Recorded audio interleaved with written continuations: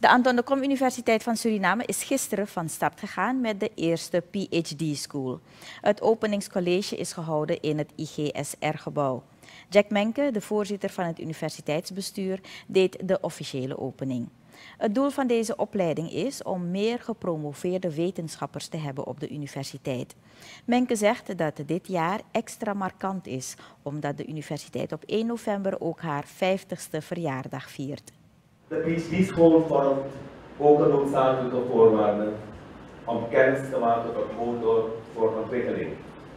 Bij haar oprichting werd aan het ISR de opdracht gegeven het stimuleren van promoties aan de universiteit.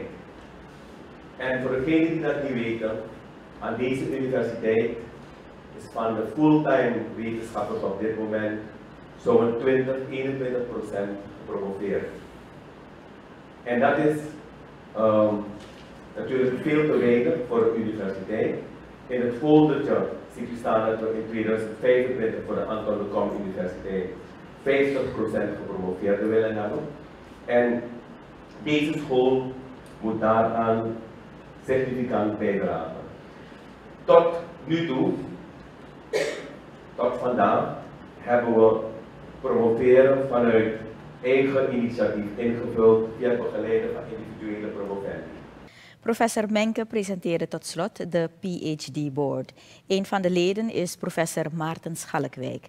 Voor het eerste studiejaar van de PhD-school hebben zich 28 studenten ingeschreven. Ik wil tenslotte de studenten van de PhD-school, het PhD-team, de board uh, en het administratief ondersteuningsapparaat het volgende meegeven. Vandaag zijn we meer dan de som van onze individuele talenten die we ongetwijfeld hebben.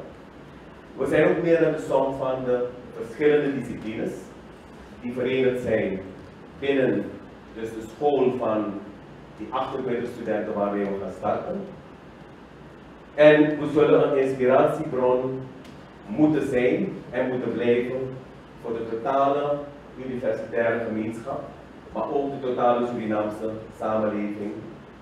En tonen dat wij als PhD-school een noodzakelijke voorwaarde vormen om kennis te smeden tot motor van ontwikkeling.